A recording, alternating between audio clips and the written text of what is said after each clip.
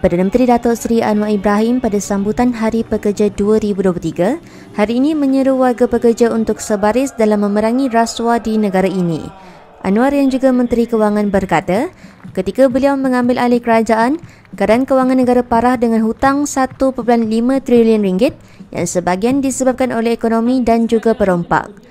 Beliau berkata demikian pada majlis sambutan Hari Pekerja 2023 bertemakan Pekerja Pemangkin Wadah Malaysia Madani di Putrajaya pada Isnin. Anwar berkata, langkah penjimatan yang diambil kerajaan serta usaha memerangi rasuah akan membolehkan hasil negara bertambah sekaligus rakyat mendapat manfaat daripadanya. Dan ini jaminan saya sudah. Sebagian sudah kenal saya dan kenal rakan-rakan saya. Dan kita bagi komitmen.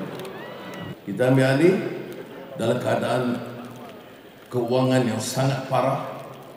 Hutang 1.5 triliun. Sebahagiannya kerana klaim ekonomi sebahagiannya kerana perompakan dan porak-peranda sistem ekonomi.